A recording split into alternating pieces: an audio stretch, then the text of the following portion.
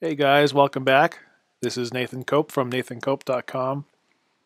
Um, in this video, we're going to just take a quick look at a very simple class that I've created in Objective-C, just so our um, Objective-C folks will um, have a starting point in converting some of their code over to to Swift. So this this class is really it's it's a very simple class regarding a vehicle and vehicle types and models and manufacturers. And I'm just demonstrating how classes work in Objective-C. And in our next video, we'll take a look at this and convert it over to Swift so it, it obtains the, the same exact functionality.